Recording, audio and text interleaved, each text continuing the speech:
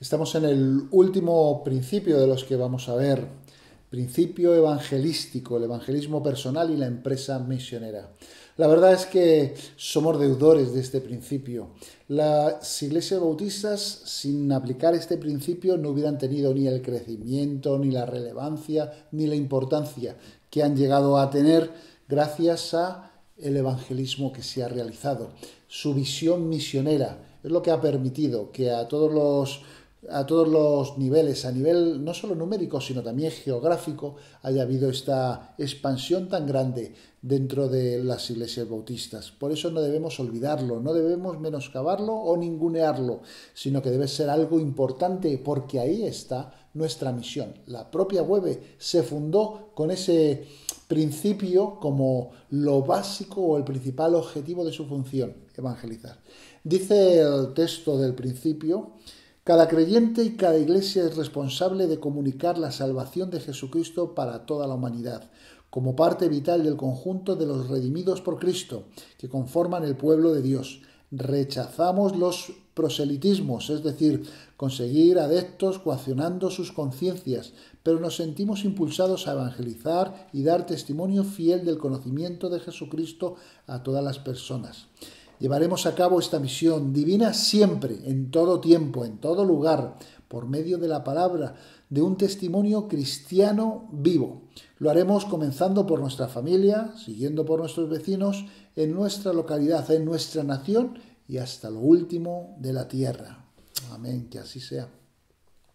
El pueblo bautista se, ha identificado en su historia por el fervor misionero. En, otros principios bautistas hemos visto cómo la devoción a Jesús identifica a los bautistas, que le reconocen como Señor. También hemos visto la importancia de la fidelidad a la Biblia y cómo todo esto no podía ser perturbado por un Estado o por un gobierno que quisiera modificar nuestras creencias. Se ha explicado que con esto no solo se pedía para sí mismo, sino que también pensamos que otras iglesias y otras maneras de pensar podrían tener también su oportunidad de poder eh, tener su culto y poder tener la promoción de sus pensamientos, de manera que hemos pensado que esto era para todos. La evangelización y las misiones es también un pensamiento típicamente bautista, es esencia del movimiento o de la denominación. La llamada herencia bautista no es eh, tal si no tenemos en cuenta que aquellas personas que no tienen a Cristo tienen delante de sí una condena eterna. Nosotros queremos, y por amor a ellos, es que mm, ponemos en práctica este principio. Los bautistas defienden este principio desde el respeto y desde la libertad para que el individuo tome sus decisiones, a pesar de las consecuencias.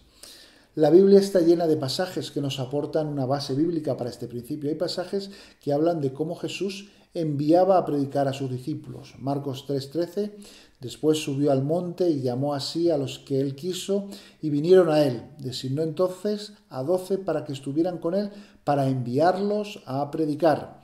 Y de la importancia de ser testigos, dice en Hechos 1.8, pero recibiréis poder cuando haya venido sobre vosotros el Espíritu Santo, y me seréis testigos en Jerusalén, toda Judea, en Samaria y hasta lo último de la tierra. Siendo estos textos importantes los que todos identificamos como textos eh, dorados, textos por excelencia, es la gran comisión, Mateo 28, 19. Ir y hacer discípulos a todas las naciones, bautizándolos en el nombre del Padre, del Hijo y del Espíritu Santo, enseñándoles que guarden todas las cosas que os he mandado.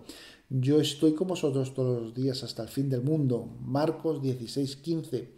Y les dijo, id por todo el mundo y predicad el Evangelio a toda criatura. Y Juan 20, 21. Entonces Jesús les dijo otra vez, paz a vosotros. Como me envió el Padre, así os envío yo a vosotros. Todo esto que hemos leído en los textos de la Gran Comisión se pueden resumir en ir, no esperar a que vengan, ser proactivos en la presentación del Evangelio, predicar, proclamar el mensaje de salvación, el Evangelio de Cristo, enseñar las enseñanzas que Jesús nos dejó en su palabra, entre otras, desde luego, el bautismo, y, todo el tipo de cosas que son necesarios para, necesarias para tener una vida que lo que haga sea seguir el ejemplo de Cristo. Y por último, testificar aquello que Cristo ha hecho en tu vida. El espíritu misionero de la iglesia primitiva fue recogido por los anabaptistas en el siglo XVI, que en el estudio de las escrituras entendieron que más allá de los reformadores debían hacer obra misionera fuera de sus fronteras, testigo que fue recogido por los bautistas del siglo XVII. El llamado padre del movimiento misionero, William Carey, quien a través del estudio bíblico propuso la idea de la creación de sociedades misioneras como auxiliares de las iglesias locales para que de una manera coordinada se llevara ayuda y esto fue lo que se llamó a hacerlo a través de las misiones foráneas o extranjeras.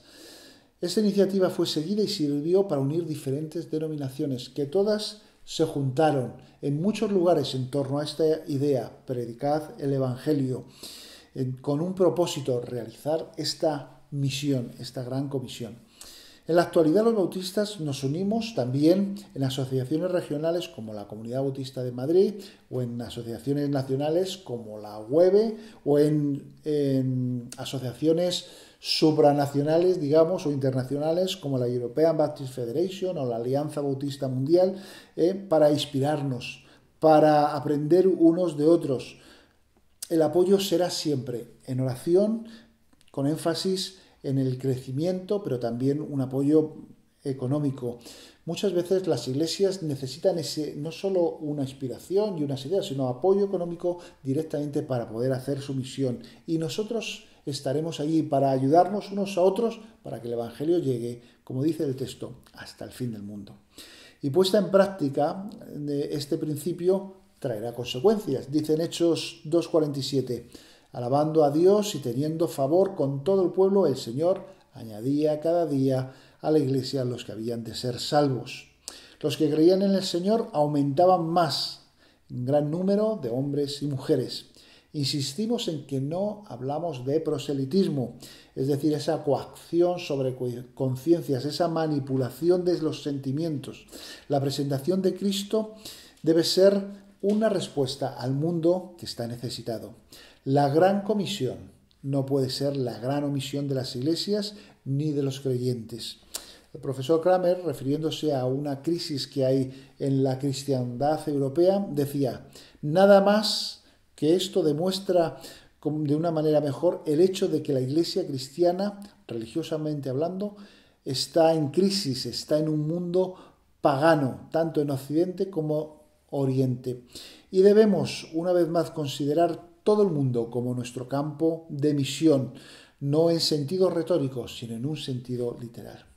Terminamos reflexionando sobre qué hace mi iglesia para cumplir la gran comisión, o mejor dicho también, qué hago yo para cumplirla.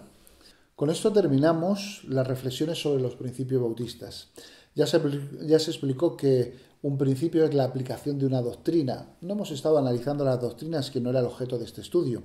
Representan el fruto de la búsqueda intelectual de la fe cristiana, explicada por los bautistas. Son de suma importancia, ya que su ausencia abre el peligro de alejarse de la interpretación de la Biblia, la sobredimensión de los sentimientos y las experiencias frente a los razonamientos intelectuales con una base bíblica. El material que hemos estado trabajando durante este tiempo ha sido basado en la historia de los bautistas de Justo Anderson y también en el material del difunto pastor Adolfo de Silva, a quien también en cierto modo les, damos gratitud. Eh, ser bautista significa ser algo, y seguir los principios bautistas tienen una responsabilidad. Pero no olvidemos que nuestra misión es siempre presentar a Jesucristo. Y esto es lo que decía el último principio que hemos estado viendo. Que el Señor os bendiga y os ayude a tener entendimiento y sobre todo no os alejéis de la palabra de Dios.